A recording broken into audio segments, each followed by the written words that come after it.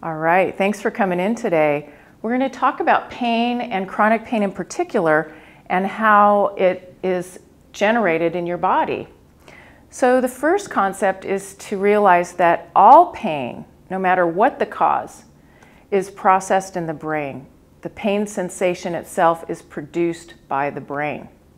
And this is how it breaks down. So you start out with a pain generator in your body, something like arthritis, it could be a bulging disc compressing a nerve, it could be neuropathy, any number of things. And this pain generator is what we're going to call it because the pain generator isn't the pain feeling yet. It's just the alarm bell. And so the pain sensor detects either tissue damage or irritation and sends a signal up the spinal cord and it reaches a part of the brain that's considered a relay station.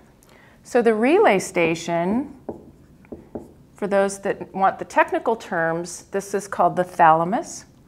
The relay station provides a communication hub and it will send a signal to three separate areas in the brain. The first area it sends a signal to is the body map. Okay, this is the body map.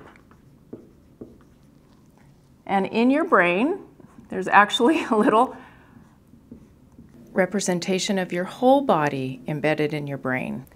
And let's say the pain generator is your knee.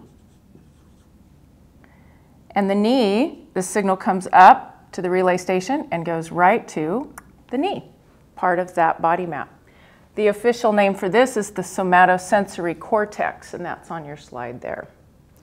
At the same exact time, a signal is sent to the emotional centers of your brain.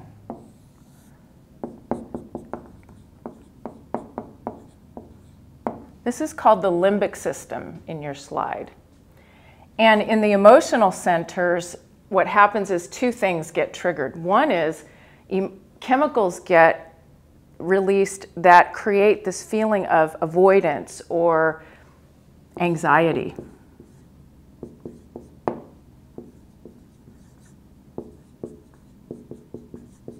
And the second thing that happens is the stress response gets triggered. So, stress response, if you're familiar with that, is the fight flight system where basically your body's going to either fight or run away from a potential harm because pain actually is um, a threat to, your, to our systems. That's how our brain interprets it. So we come up here, so remember we go to the body map, then we go to the emotional center, and the third place that this signal goes, and remember this is all happening simultaneously, is to the part of your brain that involves thinking. And the thinking part of your brain is also known as the cerebral cortex on your slide. And the thinking part actually assigns some kind of meaning to the pain. So, what does this pain mean to me? Um, how is it going to affect me? This is the area of your brain that determine whether or not you need to go running to the emergency room or get some help from someone else. Or you could kind of look at this whole picture as this is the ouch. It tells me where the pain is located and what it feels like.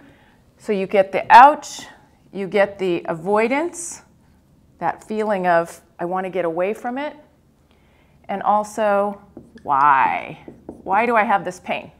So those are the three major sort of components of this overall pain experience. So now what happens with chronic pain? Chronic pain is where the signal from the knee, as, our, as we're using in our example, keeps getting repeated over and over and over again. And what happens is, is that a concept called neuroplasticity starts to take hold. Neuroplasticity is a concept summarized by this statement nerves that fire together wire together. If a nerve pathway is used a lot, the brain creates a chemical and physical bond to allow the message to go through easier and faster. This hardwired pathway is the nervous system learning to transmit pain messages better and better. So these pathways, you could kind of look at them like the brain takes a picture, like there's just a very fixated picture.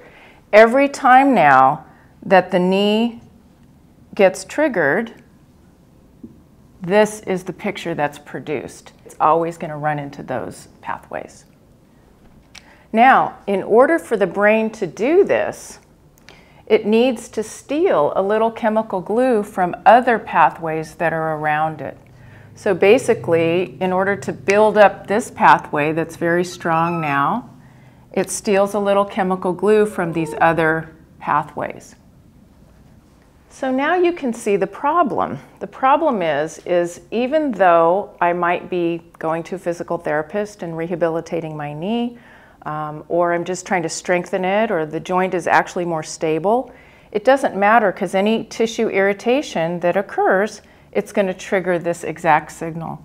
And this is why people in chronic pain have such difficulty with trying to rehabilitate and get better because every time they try to work on the knee or the problem, whatever that may be, it hurts.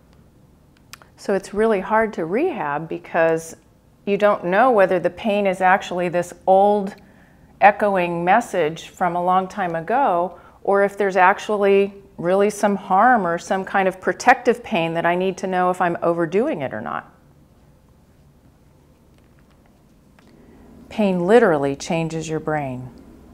These well-worn, learned pathways are not only experienced as enhanced physical pain, but also emotions like anxiety and avoidance, as well as thoughts like worry and fear. So the impact of chronic pain is huge and it acts like a ripple effect. Just starting with the emotional impact, folks can become hopeless very easily. Waking up to face pain every day is wearing on you. Irritability is a common feeling just because your tolerance is challenged every day. Sleep disruption is one of the more difficult problems. If you can't get into or stay in a deep restorative sleep, you can't make the coping chemicals you need every day just to cope with everyday stress and strain. This leads to more pain, loss of memory and concentration, and yet more irritability and hopelessness.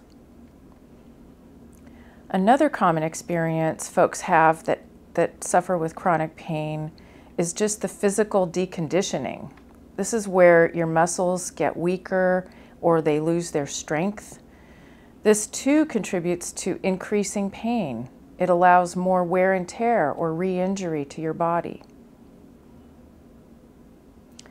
As the ripple effect continues, loss of social interactions and even social standing becomes a problem. People with chronic pain tend to isolate when they're in pain. So between the loss of physical capacity and less coping and more isolation, people often wind up doing less and less as the pain interferes more and more. So, usually about here, somebody asks, Oh my gosh, is there something we can do about this? So, the answer is yes. And basically, you come to a program like this to work on these three areas both the the body itself and physical rehabilitation. We need to be able to address the problems I just talked about, which is the loss of functioning and this bracing and guarding.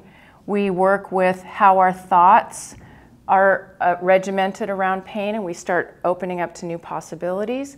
And we work on stress management and dealing with the emotions that come out of that too.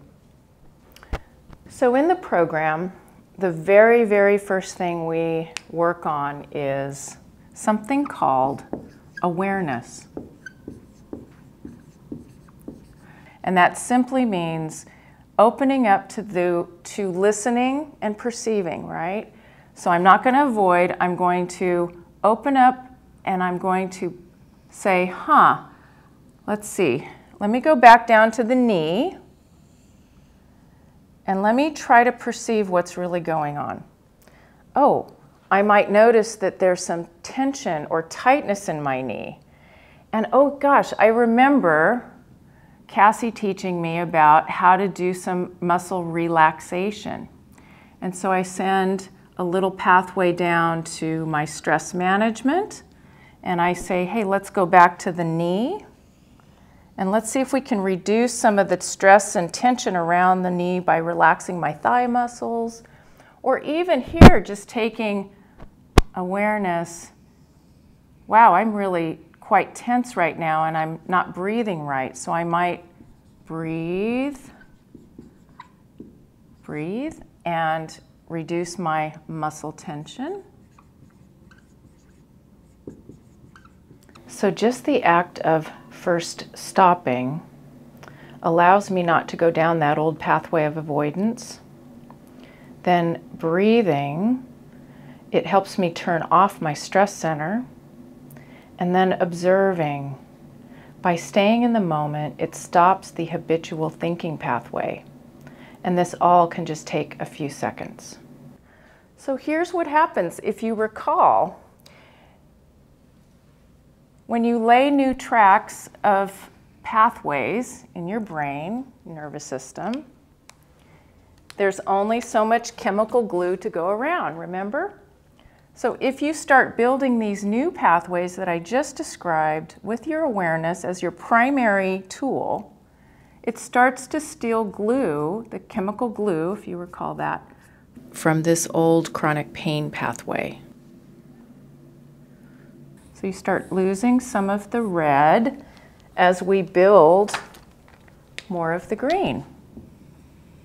So what this does is opens up your awareness to other possible sensations other than pain and even some pleasurable sensations of just relief. And these kind of tracks start building into the somatosensory cortex, that body map, and you start feeling ouch a lot differently. It may not feel like ouch anymore.